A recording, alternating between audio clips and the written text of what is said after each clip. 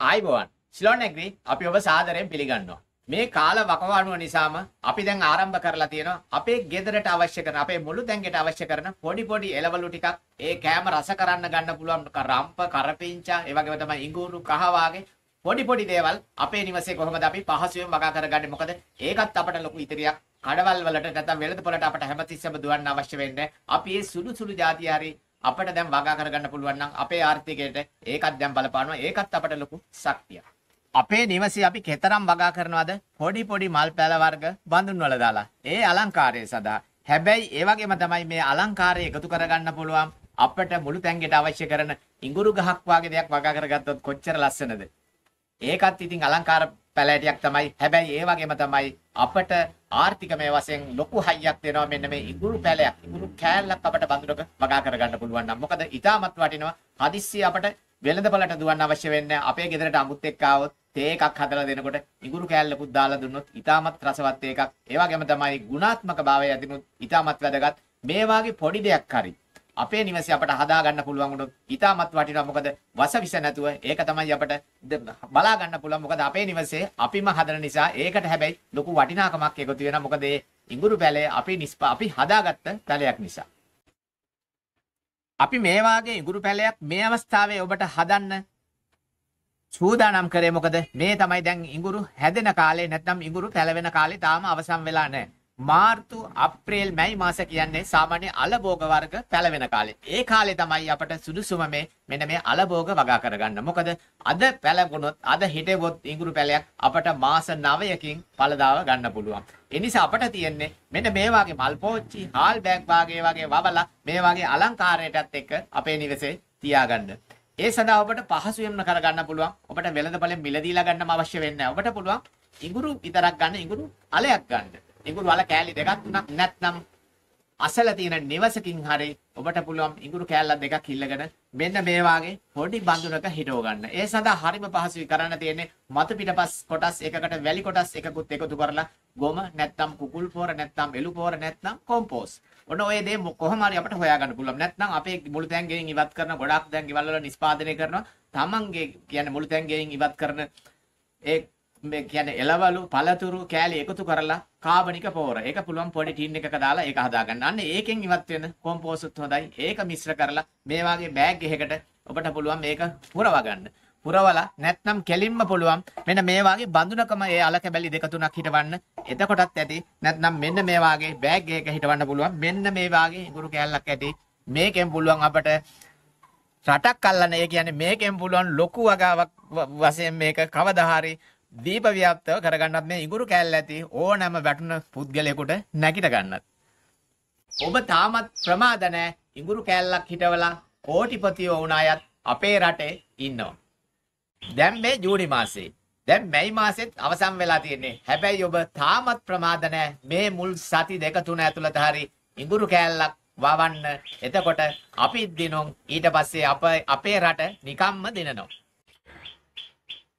ඔබට පහසුයි මේ දේ කරගන්න. මෙන්න මේ වගේ ඉඟුරු කෑල්ලක් ගන්න. දැන් මේකේ අපි තමයි අර කියපු පස් මාධ්‍ය පුරවලා තියෙන. ඒ කියන්නේ මතු පිට පස් කොටස් එකයි, වැලි කොටස් එකයි, කොම්පෝස්ට් නැත්නම් ගොම හෝ ඒ කැමැතිම කාබනික පොර කොටස් එකක් හොඳින් මිශ්‍ර කරන්න. හොඳින් මිශ්‍ර කරලා මෙන්න මේ වාගේ ප්‍රමාණයට පුරවලා තියෙනවා. පුරවලා ඔබට තියෙන්නේ මෙන්න මේ ඉඟුරු කෑල්ල ගොඩක් දෙනෙක් මම දැකලා තියෙනවා. මෙන්න මේ අතට හිටවනවා. උඩට පේන්න. ඒක සම්පූර්ණ වැරදි ක්‍රියාවක්. ඒක ඒ විදිහට හිටවන්න හොඳ නැහැ. මෙන්න මේ ඉඟුරු කෑල්ල අපි පැත්තට තමයි හිටවන්න ඕන. මේ වාගේ උඩට හිටින්න ඉඟුරු හිටවන්නේ මේකෙන් දැල්ලක් උඩට ආපුවාම මේකේ අල එරෙන්න ඇත්තටම පසට යට වෙන්න ඕන. ඒ නිසා අපි මේ අලේ පසට යට කරලා තිබ්බාම මේකෙන් පැල ඇවිල්ලා මේ මාස පහක් විතර යනකොට මෙන්න මේ අලේ දිය වෙලා ගිහිල්ලා අලුතෙන් අල තමයි එරෙන්න පටන් ගන්න. ඒ කියන්නේ මේ බෑග් එකක හිටගොත් මේ බෑග් එක පුරාම අල එනවා. එතකොට අපි නිවැරදිව ඉඟුරු පැල හිටවන්න ඕන. ඉඟුරු අලේ මෙන්න මේ විදිහට පැත්තට දාන්න. සාමාන්‍ය අපි බඳුනක හිටවනවා නම් ඉඟුරු ග්‍රෑම් 50ක්වත් හිටවන්න කෑලි කෑලි තනින් තන දාලා මෙන්න මේ බෑග් එකේ හිටවනකොට නම් එක පැලයකුත් ඇති. ඊට පස්සේ මේක ඇරෙන්න තියන්න හොඳ නැහැ. මෙන්න මේ වාගේ පස් වලින් ඒ පෝර පස් වලින්ම මේක වහලා දාන්න ඕනේ මෙන්න මේ විදිහට.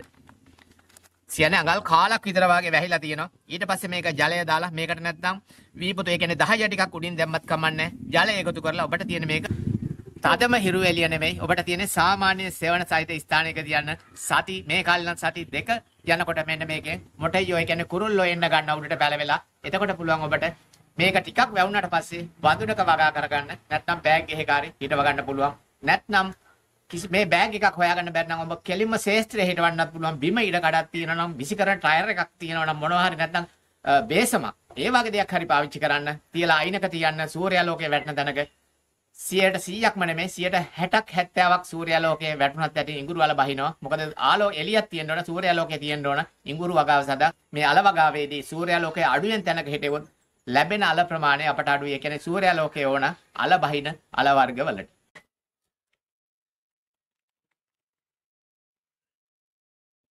ඔබට මේ දකින්න තියෙන්නේ මෙන්න මේ වගේ ඉඟුරු කොටසක් අපි කෑල්ලක් දාලා පැල කරපු එකක්. මෙන්න මේ වගේ තියෙනකොට මේ බෑග් එක සාමාන්‍ය ගලවලා මේක බඳුනක හිටවන්න පුළුවන්. නැත්නම් මේකෙමත් අල එරෙනවා. මේකට ජලය එකතු කරොත් මේකේ විශාල අල ප්‍රමාණයක් එන්නේ නැහැ. ඒ නිසා අපි මේක ඉඩ ඇති තැනක නැත්නම් බඳුනක නැත්නම් මේ වගේ තැනක හිටවන්න පුළුවන්. මෙන්න මේ වගේ කාලෙට ගොඩාක් හොඳයි වගාවට යොදන්න පුළුවන් නම්.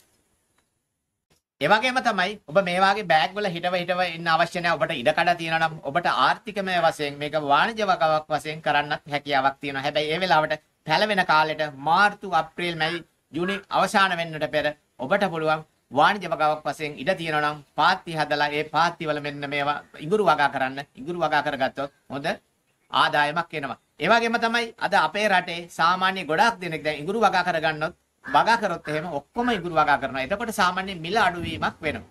හැබැයි ඒක අපි අතාරින්න එපා. ඒ වගේම ඒකෙන් පාඩුනොත් ඊළඟ සාමාන්‍ය අපේ රටේ ආයේ වගාව කවුරුත් කරන්නේ නැහැ. එතකොට ඒක අතාරිනවා. එතකොට ඊළඟ වසරේ ඇත්තටම ඒකේ මිල ඉතාමත් අධික ලෙස ඉහළ වෙනවා. ඒ නිසා එකපාරක් ඔබ මිල අඩු වුණා කියලා අධෛර්ය වෙන්න එපා. වගා කරන්න ඔබේ ගෙදරට හරි අවශ්‍ය ප්‍රමාණයට. එතකොට ඔබට ඒකෙන් ඇත්තටම ආර්ථිකමය වටිනාකමක් එනවා. අපේ රටේ අද ලොකුම ප්‍රශ්නයක් තමයි මේ ඉන්න හිටින්න තැනක් නැහැ නැත්නම් ඉඩ කඩක් නැහැ මිදුලක් නැති ගොඩාක් දෙනෙක් නගර බදව ජීවත් වෙනවා.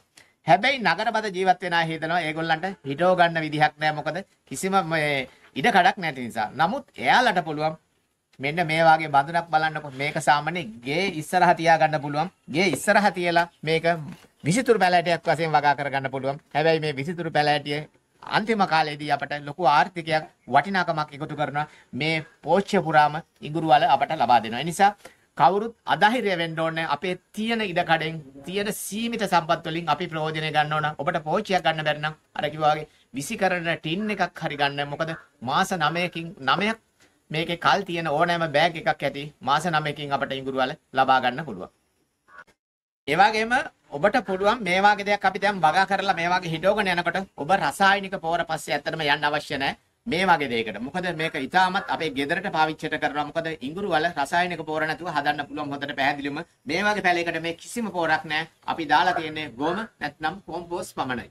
ඒ වගේ එකතු කරන්න ඔබට පුළුවන් පැල වෙලා එනකොට මාසයකට එකහමාරකට විතර පස්සේ ගොම අවශ්‍ය කරන ප්‍රමාණයට කියන්නේ සාමාන්‍ය මේ සැඳි දෙකක් පමණ ටිකක් ලොකු අතට ගන්න ග්‍රෑම් 100ක් පමණ මේ වගේ හොඳට කුඩු කරලා මේකට දාන්න.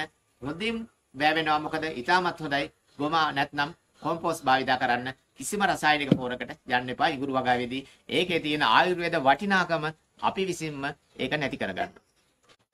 ඔබට සුබ දවසක්.